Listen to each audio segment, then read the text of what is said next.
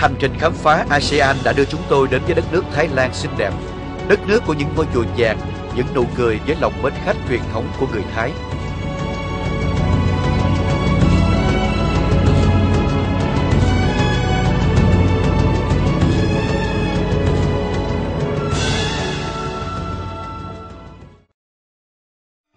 Từ sân bay quốc tế Suvarnabhumi của thủ đô Bangkok, chúng tôi đáp chuyến bay sớm đi lên phía Bắc để khám phá một vùng đất mà người Thái gọi đó là đô thị dùng ôn đới của Thái Lan. Bởi nơi này quanh năm mát mẻ như Đà Lạt của Việt Nam.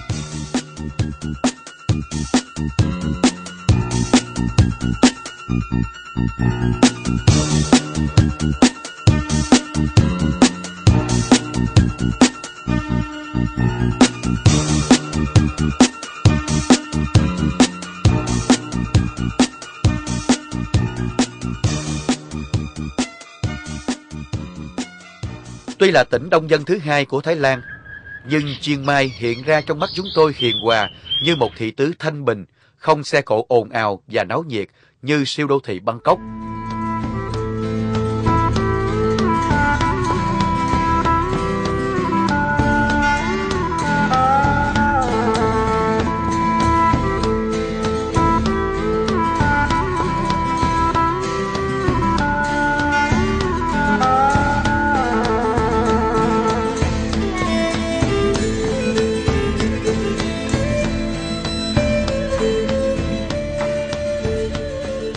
Nằm trên vùng đồi núi phía cực bắc Thái Lan, cách thủ đô Bangkok 800 km.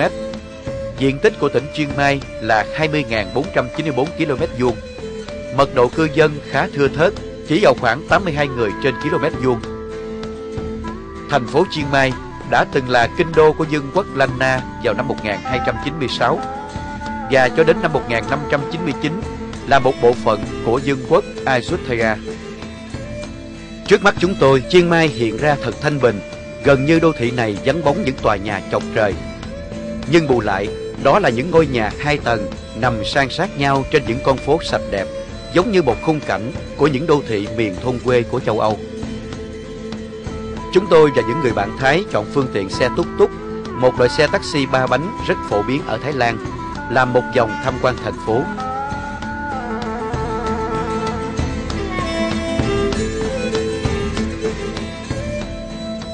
Cũng như các thành phố lớn của Thái Lan, khắp các nẻo đường đều có những bức tượng phù điêu đặc trưng tôn giáo Phật giáo tín ngưỡng mà người Thái xem như quốc giáo.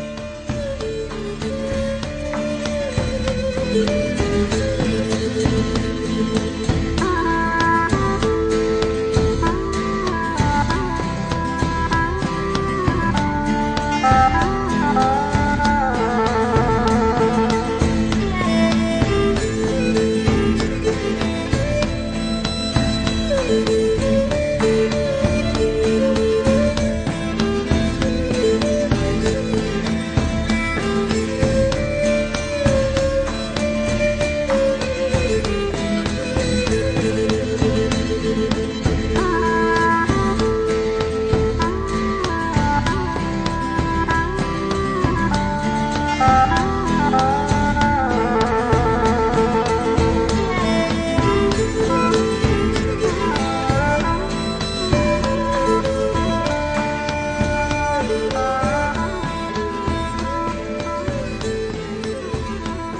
tôi có một buổi chiều thật đẹp khi ngoạn cảnh sông Pinh, tiếng Thái gọi là Ma Enem Pinh.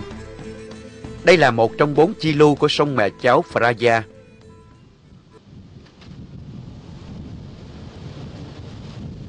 Đối với người chuyên mai, sông Pinh không chỉ là dòng sông mang lại sự no cơm ấm áo, mà còn là nơi để chiều chiều người dân thành phố ra bên bờ để thư giãn và thả hồn theo dòng sông mẹ.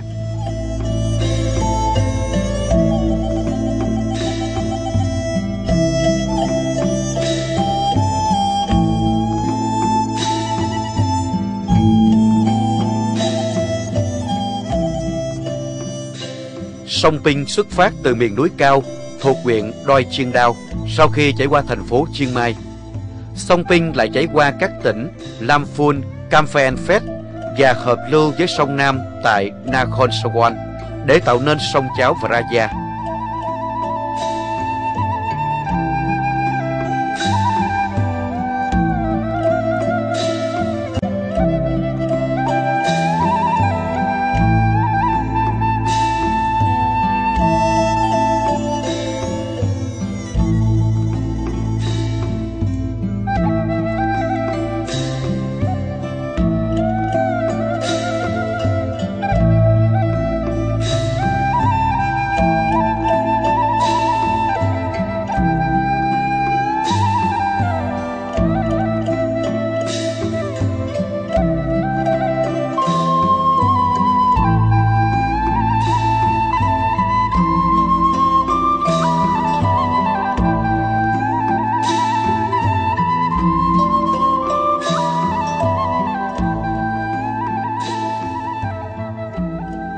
Người Chiang Mai không chỉ tự hào về thành phố của mình với khí hậu quanh năm mát mẻ và sở hữu dòng sông Pinh, khởi nguồn của sông cháo Phraya, mà còn là những di tích đền đài một thời của vương quốc cổ Lanna.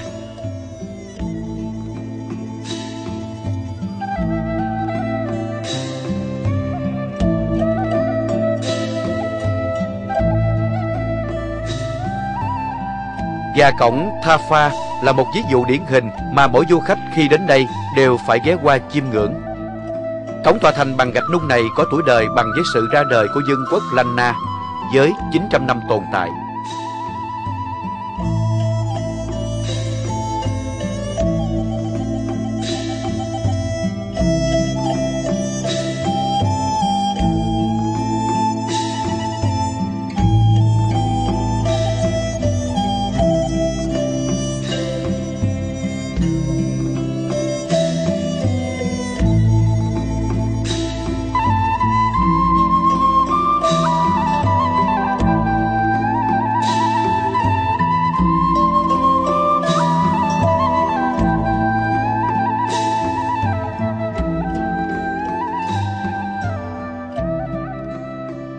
Cho dù trải qua bao thăng trầm của lịch sử, nhưng người Chiang Mai vẫn luôn có ý thức tôn tạo bảo vệ những di sản của kinh thành cổ. Ở khắp các di tích như Wat Chiang Mai, Wat Chang Lom hay Katam Rasa Tang Taman, với tuổi đời hàng dài trăm năm vẫn luôn tồn tại và hiện hữu trong sự hối hả của nhịp thời gian nơi đây.